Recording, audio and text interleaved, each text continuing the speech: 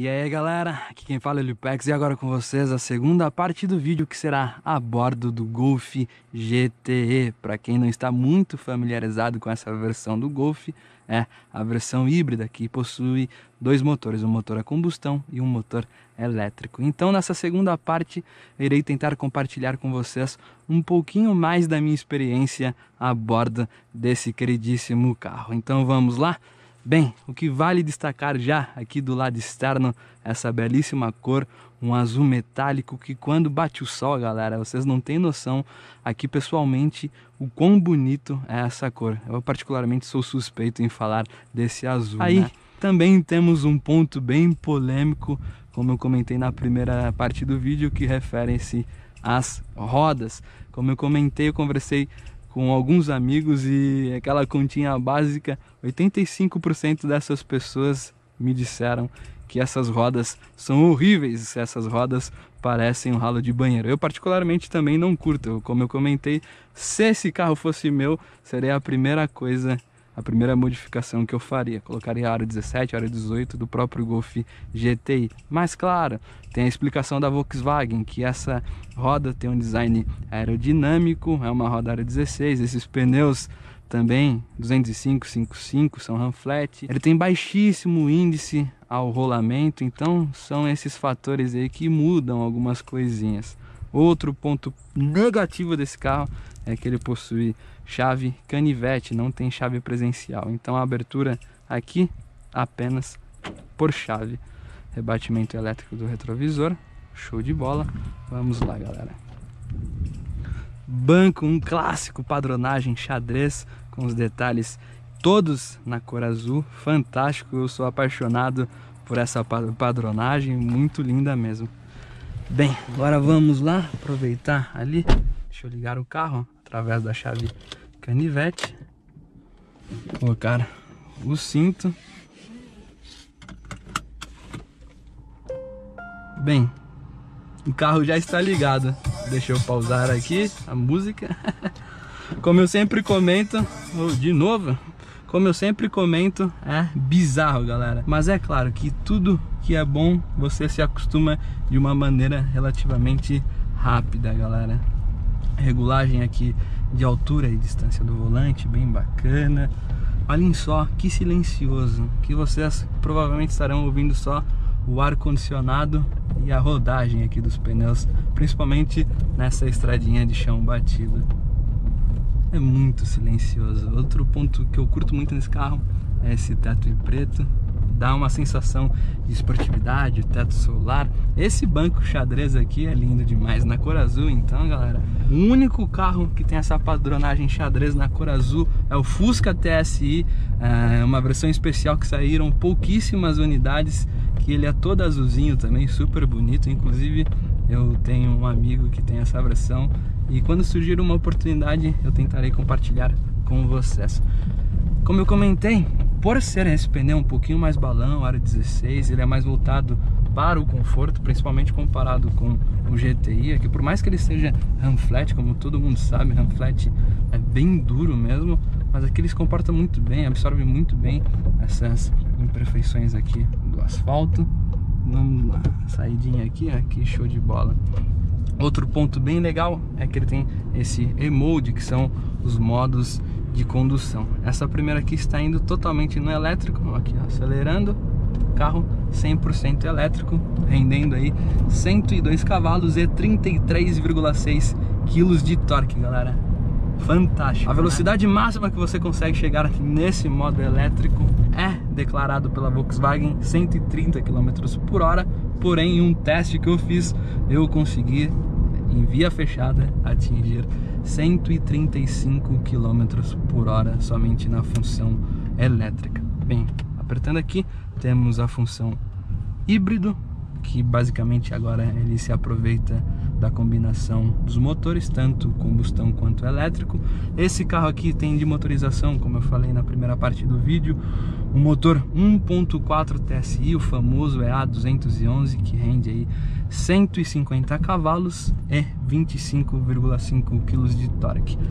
Porém, galera, como eu comentei, os motores combinados você não pode fazer a soma porque senão daria muito mais do que o declarado pela Volkswagen, que nesse caso os motores combinados produzem aí 204 cavalos, 35,4 kg de torque, que é muita coisa, e é importante observar que a entrega do carro híbrido, desses motores combinados, é totalmente diferente quando comparado a um carro combustão. O motor elétrico, ele te oferece, ele te entrega um torque instantâneo, galera. É só vocês dirigindo que vocês conseguirão é, perceber essa diferença, porque às vezes comentando aqui em vídeo vocês não conseguem ter essa sensação que no caso aqui eu estou sentindo. Esse carro pesa mais ou menos aí 1.500 kg, é um pouco mais pesado quando comparado com a versão GT. Porém, pela eficiência, pela calibração que eles fizeram nesse carro, você nem percebe que ele tem esses quilinhos a mais. Como eu sempre comento, até parece que tem é, uma ou duas pessoas a mais a bordo, então não muda em muita coisa. Esses pneus, confesso para vocês, que eu achei que não seria tão bom assim de chão, mas me surpreendeu positivamente. Outra coisa aqui temos a função GTE, que basicamente agora ele entrega o máximo do carro, potência máxima, é o modo esportivo, que eu vou colocar no manual para vocês perceberem. Aproveitando, esse carro vem equipado com a transmissão automatizada de dupla embreagem a óleo. É idêntica à DQ 250, porém esse carro, o código desse câmbio é DQ 400Z porque tem algumas adaptações, algumas diferenças para fazer o casamento aí do motor elétrico com o motor a combustão, galera. Mas é fantástico. Agora o motor a combustão acordou, não sei se vocês conseguiram perceber a diferença do ruído aí do motor. Muito bacana. Deixa eu passar aqui o ciclista. Que fantástico, galera. Esse aqui, ó, kickdown a entrega de torque desse carro, o quanto ele caminha, o quanto ele empurra, galera. É fantástico. Eu falo que carro híbrido, na minha opinião, é o melhor que hoje o mercado oferece. Eu particularmente prefiro, principalmente quando comparado com um carro 100% elétrico. Eu acho um carro muito mais usável, muito mais versátil, porque você pode viajar para qualquer lugar, usar para qualquer tipo de situação, sem ter o medo de não encontrar um ponto de carregamento e tudo mais, sem ter aquele medinho de ficar na mão. Olha só o torque instantâneo. A grudada no banco é sensacional. Deixa eu sair, ó, kickdown. Controle de tração interferindo. Nossa, é muito bom isso daqui. É um baita brinquedão. E galera, carro híbrido é fantástico porque tem a versatilidade do motor elétrico, são situações na prática que são extremamente boas, porque o carro tem um isolamento acústico muito bom e quando ele está somente no motor elétrico, você não ouve exatamente nada. Deixa eu tirar aqui do GT, ó, está na função híbrida agora. O carro está dentro da margem aqui da utilização do motor elétrico que silêncio. Então imaginem, um ar-condicionado ligado, uma boa música com esse Discovery Pro, que multimídia é sensacional. Você parece que está em um outro mundo, você se isola do que está do lado externo, galera. É muito bom. E existem algumas situações específicas que o motor elétrico proporciona que são fantásticas. Por exemplo, o cold start. Quando você sai pela manhã de casa, sei lá, 6 horas da manhã, você vai ligar o carro, pum, ligou o carro está pronto para utilização, não é um, igual um carro combustão que você tem que esperar o carro terminar o cold start, baixar a rotação, ó, kickdown elétrico, ele entra o combustão. Nossa, galera, é muito bom isso daqui. então você não tem a necessidade de aguardar. Você ligou o carro já está pronto para o uso e sair da garagem com aquela sensação que o carro está desligado, tem alguém empurrando o carro é, é bizarra, galera. Então, isso é um ponto muito positivo. Outra coisa, esse carro aqui tem de autonomia com as baterias totalmente descarregadas entre 40 a 50 quilômetros. Então, nessa média aí, você andará somente com a motorização elétrica, por exemplo, dentro da cidade. Então, a média do paulistano entre a distância de casa ao trabalho é isso aí. Coloque 30 quilômetros, algo relacionado. Então você basicamente pode ir, ir e voltar do seu trabalho sem gastar uma gota de combustível.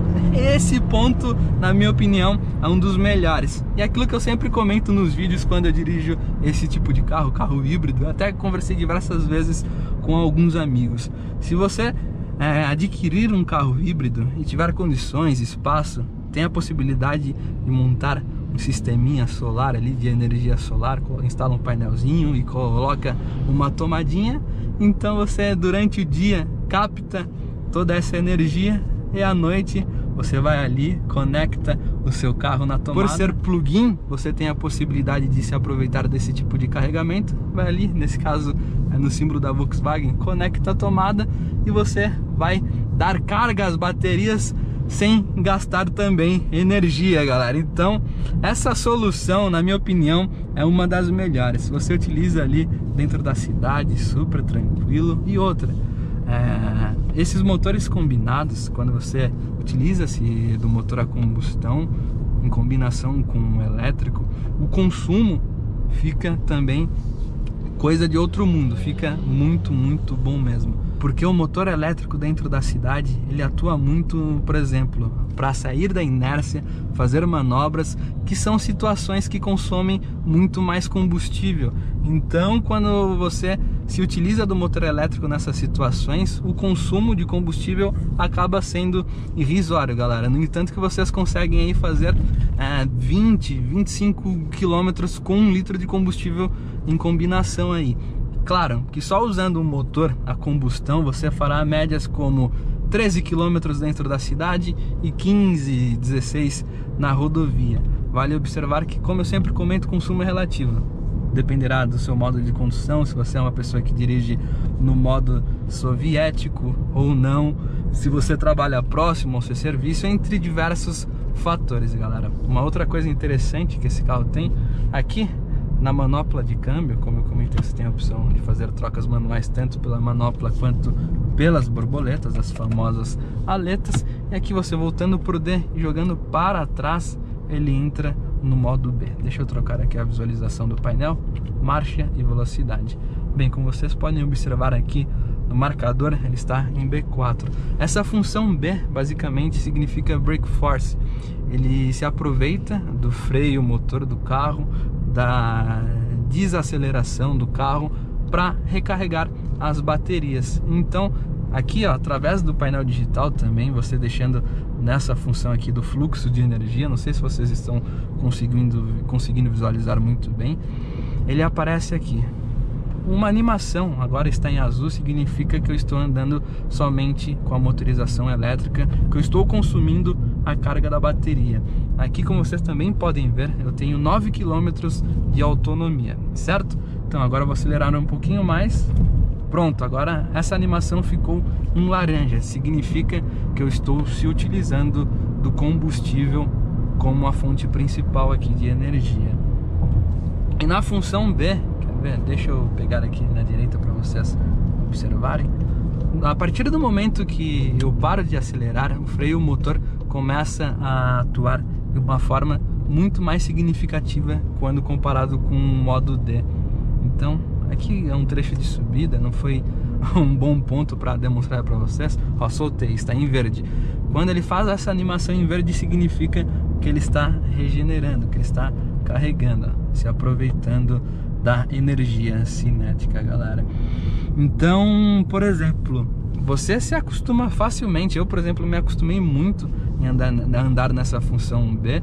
É aquilo, no começo você estranha um pouco, porque ó, vou jogar pro D.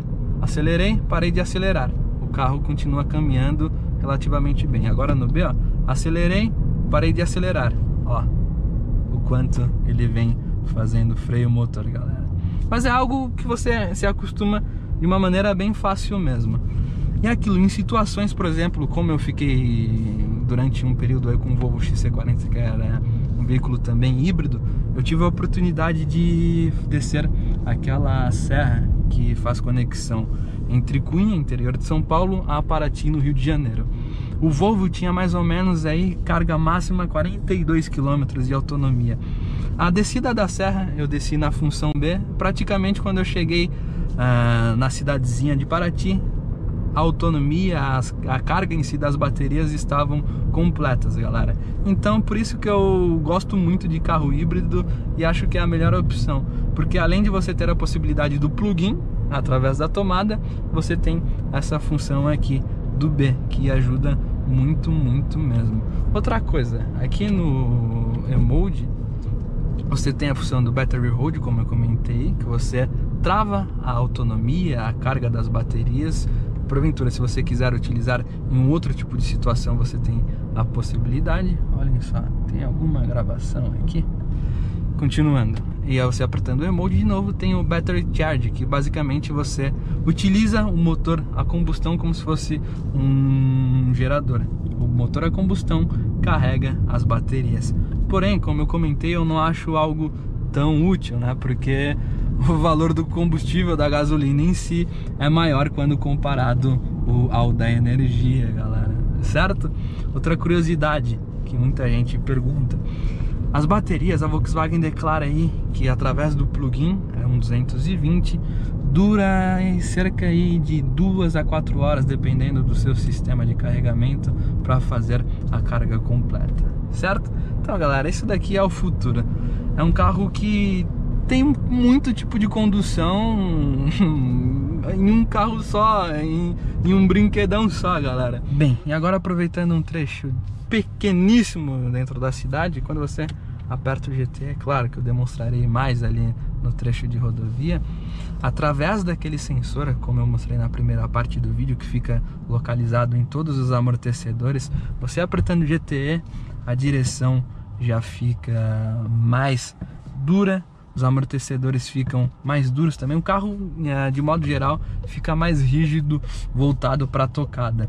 Então, através daquele sensor, ele altera o fluxo de óleo do, dos amortecedores, galera. Então, ele faz o controle e, consequentemente, o carro fica mais rígido, mais voltado para a tocada. Deixa eu tirar do GT, eu volto na estradinha ali. Ó, tá no B, tá aproveitando do motor a combustão, porque a autonomia já está mais baixa. Olha que legal, galera. Carro híbrido é o futuro, galera. Eu falo que se um dia eu tiver condições e tiver também na pegada, com toda certeza eu comprarei um carro desse aqui. Não especificamente o Golf GTE, né? Mas um carro que seja híbrido e turbo também, porque ah, o casamento desses dois motores aí é fantástico. Mas está regenerando, como vocês podem ver. Que legal.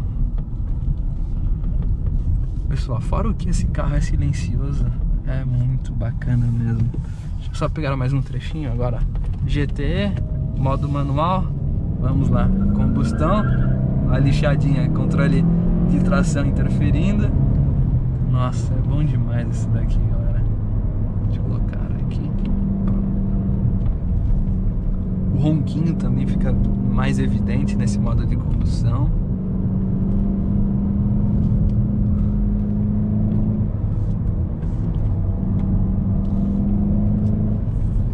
Plataforma MQB, não tem muito o que falar também.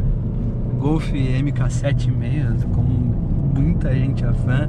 O carro é forte, versátil, independente da versão que seja, desde a 1.4 mais simples aí de entrada até a GTI, GTE. Em questão de desempenho, só a título de curiosidade, o 0 a 100 do Golf GTE é praticamente o mesmo quando comparado com o Golf GTI, galera. Porém, o 100 a 200, o Golf GTI tem um desempenho superior, porque o motor elétrico em altas velocidades, como eu comentei na primeira parte do vídeo, ah, ele atua ali a mais ou menos 130, 135 km por hora. E é aquilo, quando 1.4 turbo comparado com 2.0 do GTI, VA888, ele não rende tanto em altas velocidades como a combustão, né? O RAM flat. Nossa, a forma de entrega é muito boa. Curva muito, freia muito bem. Não é à toa, né? Que Golf GTI, sempre a versão GTI, tem uma galera super apaixonada. Nossa, esse daqui é bom demais. Você pode usar na cidade, na tranquilidade, no conforto ali, tendo todo o silêncio, a eficiência. Se você quiser um brinquedão para dar uma acelerada, o que que dá? Ó. O quanto caminha, galera, é muito rápido isso daqui. E aí fica a curiosidade, será que existe algum macete, alguma possibilidade de fazer alguns upgrades nesse carro de bateria, um próprio remap no motor 1.4 TSI, será que rola?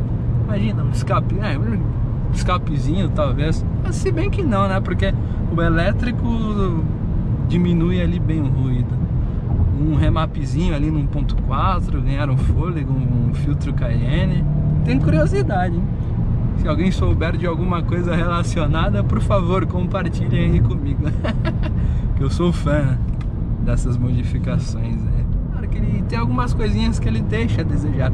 Falta portas USB, chave canivete, não tem chave por presença. Então são coisinhas que pelo preço que o carro foi vendido, eu acho que por isso não vingou tanto, galera. Poderia ter alguns mimos a mais por ser teoricamente uma versão top, híbrida, tecnológica e tudo mais. Certo? Então é isso aí. Espero que vocês tenham gostado do vídeo. Para quem não é inscrito no canal, se inscreva. Para quem não me segue no Instagram, siga lá, Lipex no lugar do i, é o número 1. Um. Se vocês tiverem alguma dúvida, alguma curiosidade referente a esse carro, fiquem à vontade para perguntar aí no campo dos comentários. Se quiserem também é, sugerir algum outro carro para gravação. Até o próximo vídeo. Valeu e falou.